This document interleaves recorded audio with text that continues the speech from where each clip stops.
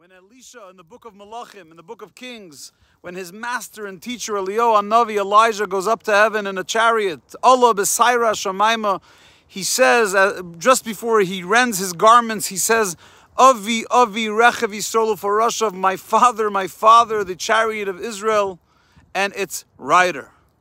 Rashi tells us right here in this week's Parsha, on the incredible words of the Shema, Vishinantam Levanecha, that you need to teach your children, your sons. And we know, Rashi says, that students are considered like children. But we also know, Rashi says, that teachers are like fathers, and the proof for it is that Elisha refers to his Torah teacher, to his master Eliyahu, Elijah, as Avi Avi. Yet the Rebbe asks, why does Rashi quote the second half of the verse? To make that point, all you got to do is say that Elisha referred to his father as Avi, eh, to his teacher Eliyahu as Avi Avi. Why mention Rechav Yisrael, the chariot of Israel? And also, it doesn't say Ufarashav, it doesn't say in its rider, it says V'goimer, meaning, and the rest of the verse, etc. Either mention all of it or none of it. Why is any of it relevant? Says the Rebbe, an incredible lesson in Torah education.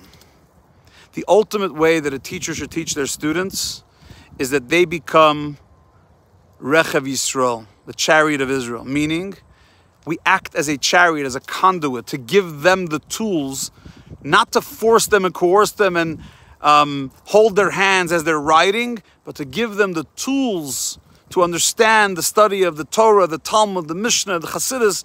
In other words, give them what they need to be a true student, to be a true spiritual son, but that they can open up the books themselves because they have the tools to delve into the depth of the Torah and to extract the, the beauty that exists within it and to extrapolate the teachings. But V'goimer, etc. Meaning there are times, it's not primary, but there are times where that's not enough.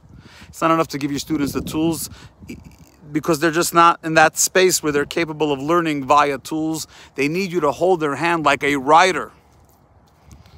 So again, it's not mentioned deliberately, just V'goimer, etc., but it's a reminder to teachers that no two students are alike.